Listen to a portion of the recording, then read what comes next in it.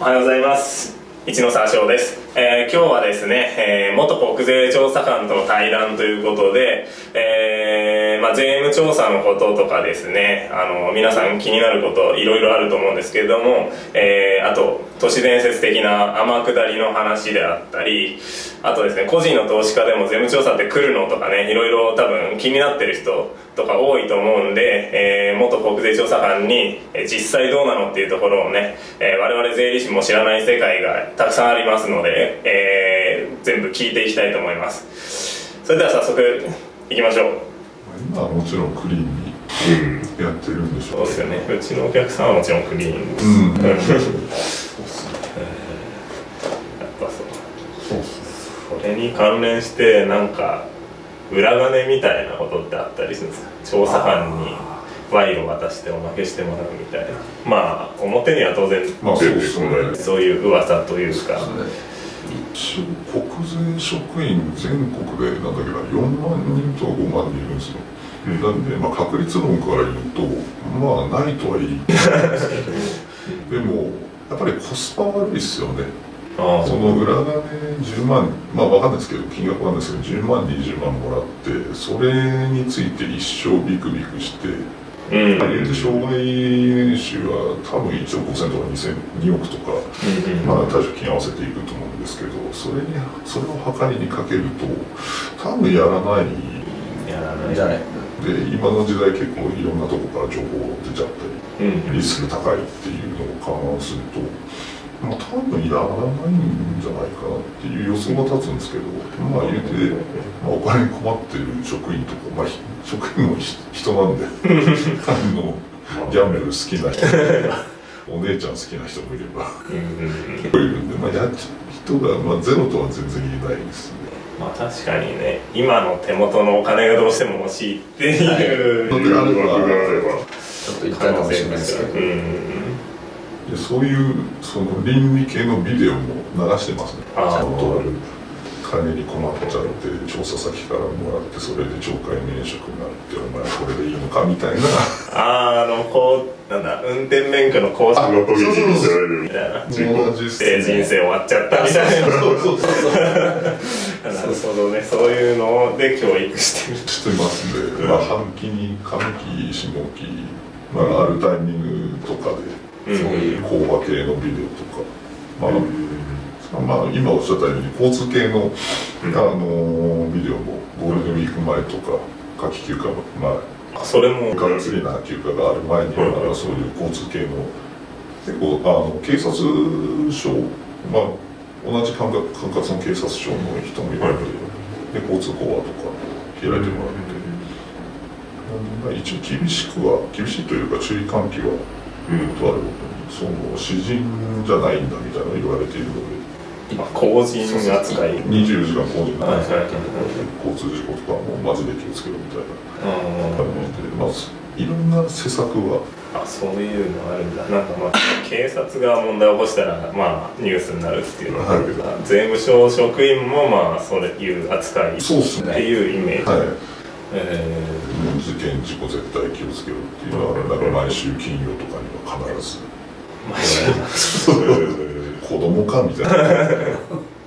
まあでもリスクヘッジという観点ではまあよかったなますまあバイトテロみたいなことはしてくるあそうそうそうそう本当そうですそういうことそうです必要だな、うんはい。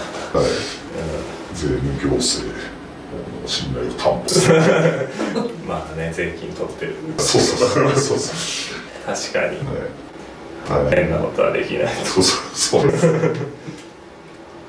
ほどなるほど多分まあみんなが一番気になるところかなっていうところではい。税務調査先を選ぶ時どうやって選んでんのかなっていうのがみんなすごい気になると思うんだけど実際そこら辺ってどうなんですか？そうですね。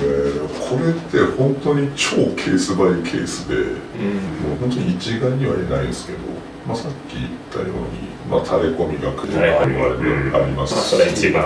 そうですね、まあ、あとは、えー、と毎年の決算書をあのデータ化して、あのまあ、いわばビッグデータみたいになっていて、うん。それがチャートみたいに出るんですけど、それがまあおかしい動きしてればっていう場合もありますし、まあ、あと売り上げが順調に伸びていってるっていうところは普通にじゃあ何してるか聞いてきてっていうライトな場合もありますし、うんまあそれは取りに行くっていうかまあ見に行くあそうですね、うん。そうですね。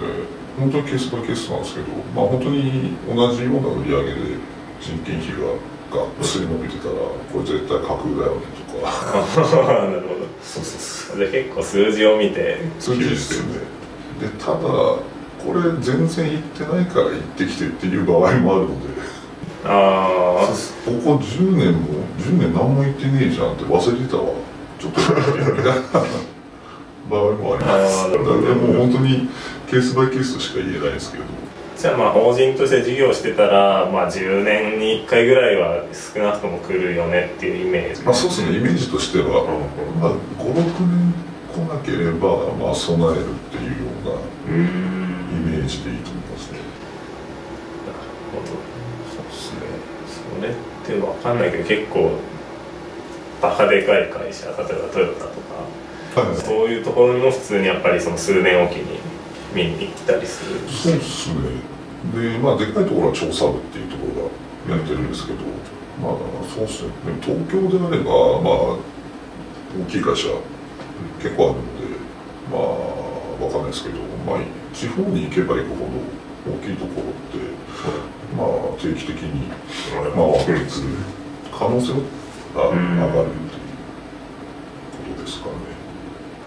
全くのランダムってパターンもあるんですか？例えばまあこう会社の書類がいっぱいあってこれみたいな。ああでも一応そうっすね。セクションによってはまあ適当適当じゃないですけど、まあ、ある程度の角度を持って一つの箱に収めて、でお前どれ行くみたいな 話もあるんで。まあ目つぶってえいはないですけどままあある程度は選んであそうっすね。はい。えー個人でとか、まあ、すごいちっちゃいところ。はい。なんでこんなとこ行くのかなって思うようなところにたまに来たりするっていう話を聞いたことがあはいる個人とか、まあ、めちゃくちゃちっちゃくやってるところであってもうん。対象には入ってくるあそう。ですなくはないです。だってゼロにはならないです。うん。まあ明らかにここからなんだそこ行っても1円も税金取れないなっていうところでもはい全然行くことがある、そうですね、まあ全然ではないですけど、まあでもそうですね、そうですね、こんなとこ行くのっていうところも全然振られたりして、えまあ、特にあの調査1年生ですとか、ーああ練習とそうですね、まあ、でもまああのエースが来ることはない。うんうん。ですけど、まあ、1年生とか、そういうところで行くっていう場合は、まあ、そっちの方の可能性としては全然あるっていう。逆にエースが来たらちょっと構えなきゃいけない。そうですね、会社としては。そうですね。じゃあ役職的にはい。これ以上の人が来たらちょっとなんかマークされてるなみたいななんかありまそうですすね。まあ、省税務署であればあの筆頭部門っていうのがあるんですよね、まあ、まあそこがいわゆる困難事案と困難事案。か、はいえー、と難しい事案、まあまあ、まあ、右右系だったりうん。関税団体であったりっていうところを相手しているところがあるんですけど、まあ、そこでもその普通の会社もやるセクションがあって、なので筆頭部門が来たらああちょっとなんかうちらなんかバレたかなとか。筆頭部門。そうですね。筆頭部門が来たら要注意ですね。そうですね。う んなるほどねそうですね逆に1年生だったらままあ超ラッキーあ警戒しなくても。なるほどなるただ1年生の場合でも担当の課長がじゃあ一緒に行くかっていう場合があるのでそれはめっちゃ厄介。超頑張るんで課長。がああなるほど。いいとこ見せなきゃっていう。まあ横で本当にまあオブザーバーとして見てるだけっていう場合もあるんですけどまあ大体はなんかよっしゃ俺がやってやるよみたいな感じで来るのでお前見てるみたいな感じで来るのでそうするとちょっと面倒くさい。じゃあ1年生の可愛い女の子と部下じゃないな上司のおっさんが来たらちょっと危ない、ちょっとやばいです やばいですね。このパターンで。見てるやるかみたいなされてなかったはずなのに。そうっす。ね あれみたいな。無理やり取られたらみたいな。まあそこね交渉の世界だと。そうそうそう。取ったぞみたいな。見たかっつってこうやって飛んだぞ。はい、えー、お疲れ様でした。それではですねあのぜひね、えー、今日、えー相談してくれたあ出演してくれた方に、えー相談したいっていう方はですねちょっとまあ身分的に明かせない部分があるのでちょっと連絡取りたいよって方はぜひねあの動画概要欄にうちの LINE アットのリンクを貼っておくのでそこにご連絡いただければと思います。でちょっとね、まあ、全員に対応するのちょっと難しいんで、えー条件として、えーこの YouTube チャンネルを、えーチャンネル登録していただいてその画面コピーを LINE アットに送ってくれた方に、えー相談させてあげたいと思います。で一応なるべく全員に相談させてあげたいんですけれどもまあ、それでも人数多すぎて無理だっていうこともあると思うんですけどなるべくね、まあ、事業やってたりとか投資でものすごい利益出しちゃったとか、まあ、ちょっと困りごとがあるような方とかね相談